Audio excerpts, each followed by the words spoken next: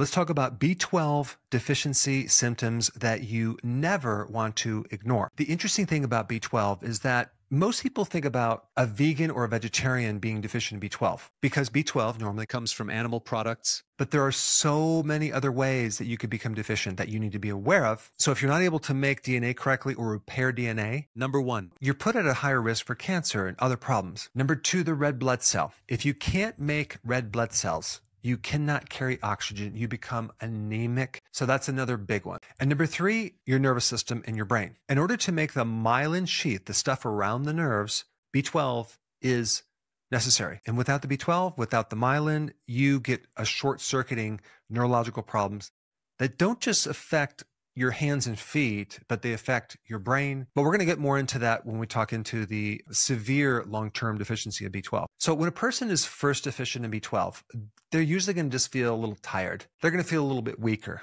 because the red blood cell is just not able to carry oxygen. They might look a little pale, and that's the anemia because they don't have as many red blood cells. And they might even then noticing tingling in their fingertips or their feet, which is the start of nerve problems. But then as time progresses, other things can happen. Your tongue becomes very smooth, shiny, and red and swollen. You can develop mouth ulcers, which, by the way, I had that when I was younger. You could become out of breath very easily. You get dizzy when you stand up too quickly. Those are severe anemia symptoms. Then you start having cognitive problems. Then also your mood starts going down. You start getting anxiety. Other symptoms include circadian rhythm issues. So your sleep cycles are off. So you just don't sleep that good anymore. And then also because B12 is involved with the nervous system, the person starts developing kind of a deficiency of neurotransmitters that show up as depression. I mean, how many people that are depressed end up going on medication when they really just have a B12 deficiency? That would be terrible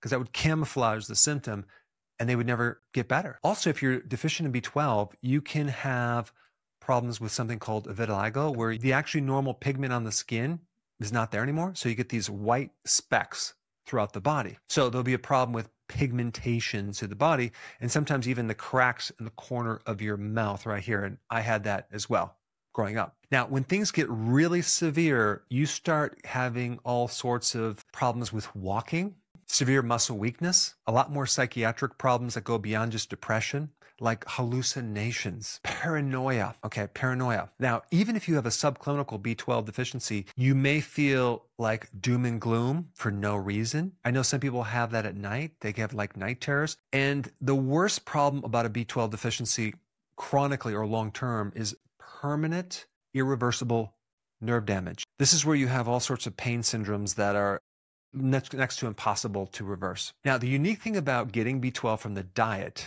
is that if you're not consuming animal products, you're not going to probably get it. So vegans or vegetarians need to take B12. Now, before I get into the very strange and unique ways that you could become deficient, let's just talk about the foods that are the absolute highest for B12. At the very top of the list, this food has the most B12, the clams. Okay, clams, who would think? And then we get into liver. Then we get sardines. Then we get red meat. Now, if you do a search on what foods are high in B12, you're not going to find red meat. Why?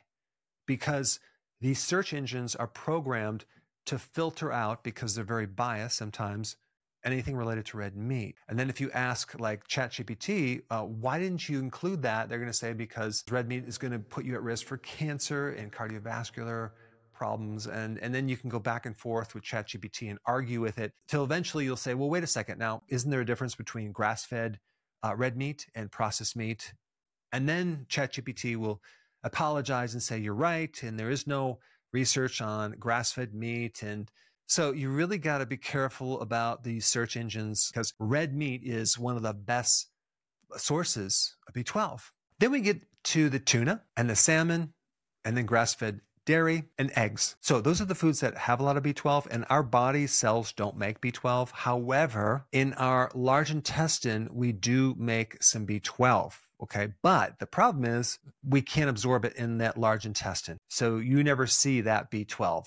It's probably used by your microbes. Okay. But the way B12 works is that uh, B12 has a, a trace mineral in it called cobalt. Okay. And so here you have this cobalt uh, vitamin B12 you consume it, it goes down to the stomach. Now, because this B12 has a protein molecule connected with it, it can be destroyed by the stomach acid. So it quickly attaches to another compound to protect it. Okay. And then when it goes into the small intestine, it gets absorbed. Here's the problem. Okay. If you have low stomach acid, you're not going to be able to absorb B12. Okay. It's not going to work. How many people have low stomach acid? Huge amounts, especially as you get older. After the age of 70, the pH, the acid in your stomach, is down by 80%. The term is called chlorhydria. Okay, low stomach acid. And I used to test this in my office all the time, and I would find people, a lot of people had low stomach acid, especially if they had heartburn, acid reflux, GERD, always low stomach acid. So they were very deficient in B12. If you have a genetic problem, which is more common than you might think, the term for that is called polymorphism. Not that you needed to know that, but if you get a genetic test, a DNA test, you may find you have a problem absorbing B12. So this is why I take B12 on a regular basis. Now, if you ever, ever take B12 supplements, make sure that you always take the natural form called methylcobalamin. But realize taking B12 is only the tip of the iceberg. You have to have a, a healthy liver, you have to have an acidic stomach, you have to have a healthy small intestine. A lot of things have to be right for you to absorb B12. Now, since we're on the topic of B12, there's a little bit more you should know about that in this video right here. Check it out.